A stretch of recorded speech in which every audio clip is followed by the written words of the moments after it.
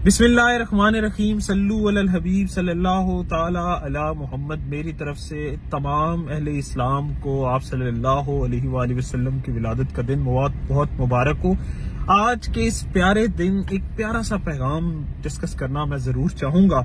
आज से कुछ दिन पहले एक खबर देखने को मिली कि एक खातून ने अपनी तीसरी बेटी की पैदाइश पर लाहौर जनरल हॉस्पिटल की दूसरी मंजिल से छलांग लगा दी।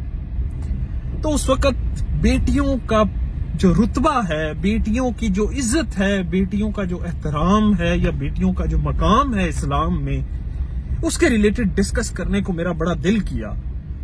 और मैं आज ये ही टॉपिक लोगों से डिस्कस करना चाह रहा हूँ कि आप सल्लल्लाहु अलैहि वसल्लम वो हस्ती थी जिनके लिए सहाबा इकराम लड़ झगड़ कर जान निसा करने को तैयार थे।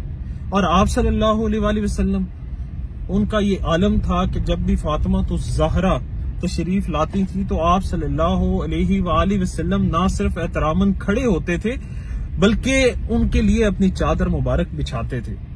और उन्होंने ये एहतराम अपनी बेटी को देकर दुनिया को बेटी का मकाम बताया। और आज हम क्या करते फिर रहे हैं?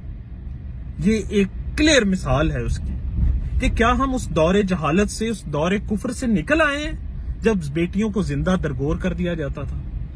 तो आज का ये ये जो वाकया है पाकिस्तान में होना, ये उस पर एक सवाल है।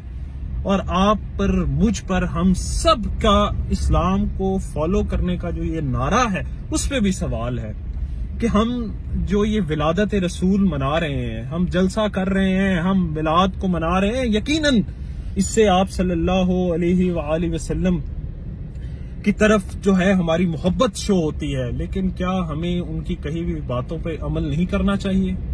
क्या हमें उनकी उसवा हुसना पे अमल नहीं करना चाहिए? तो यकीनन करना चाहिए।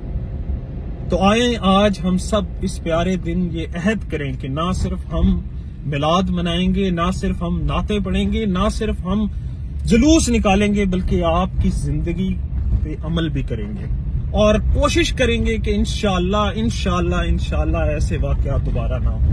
जजाक